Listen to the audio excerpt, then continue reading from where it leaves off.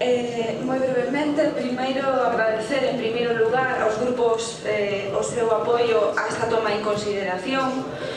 Lembrar que esta proposta é unha proposta que, como xa se dixo aquí, foi traída a traverso dos colectivos animalistas, nomeadamente Libera, pero tamén a traverso destes milleiros de sinaturas recollidas e de peticións de outros colectivos, e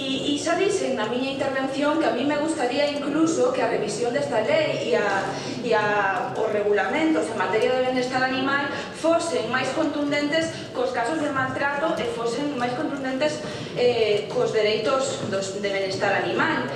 Pero evidentemente o que estamos facendo aquí hoxe é trasladar unha proposta cidadá eh, se alguén, se algún grupo, incluído o grupo mixto, considera que debe modificarse algo máis, terá, no seu caso, a ponencia para efectuar pois, os aportes que considere necesarios. De todos os xeitos, aclararlle que canto as touradas e outros temas nos que obviamente eh, estamos en contra, porque estamos en contra do maltrato animal, xa temos presentado e debatido outras iniciativas que desgraciadamente non tiveron éxito porque non saíron adiante eh, por mor do voto en contra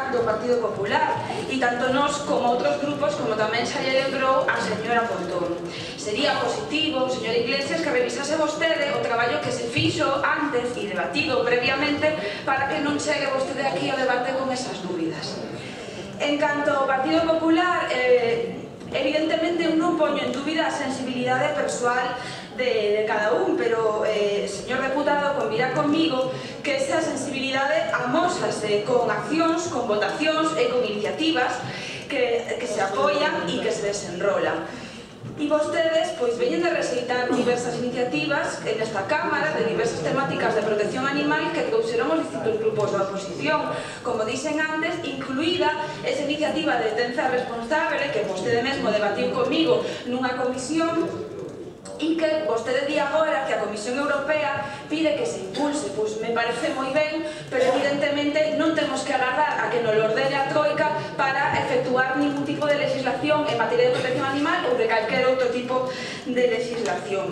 Di tamén vostede agora mesmo que se pide que se impulsen outro tipo de medidas, eh, falou incluso das formativas, non se referiu vostede ás que incluen nesta proposta. Eu dicía, e me refiro en esto ao resto de grupos, que o que considerábamos nos máis importante precisamente da nosa proposta non era a actualización desas, eh, desas sancións pecuniarias que obviamente hai que efectuálas porque está obsoleta a lei, senón o que considerábamos máis importante era pois, precisamente esas accións de sensibilización e educación que incluíamos nesa, nese novo articulado. Por lo tanto, eh, bueno, eh, si queremos falar de Europa poderíamos falar incluso de outras cousas como este tratado de libre comercio que supostamente vai asinar a Comisión Europea e que incluso fala de hormonación de animais. Polo tanto non necesitamos que a Troika nos veña a dicir que temos que, que efectuar leis de protección animal porque están camiñando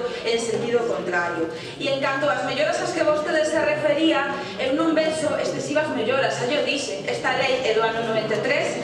tardaron cinco anos, cinco anos en publicar un decreto co regulamento da propia lei, non se fixo prácticamente ninguna actividade de prevención, eh, o orzamento, como se se comentou aquí, eh, desapareceu, o orzamento incluso nos concellos cada vez é máis escaso, a situación dos animais nas canceiras é eh, realmente preocupante e evidentemente non hai nin tan sequera eh, unha marco normativo suficiente nin hai control do abandono nin do maltrato. He encontrado que vostede dixo aquí porque como lle dixen non hai eh, datos oficiais se pregunta a Xunta de Galicia se lle piden datos oficiais sobre os casos de abandono e os casos de maltrato non os hai porque semella que non interesa pois leválos a cabo.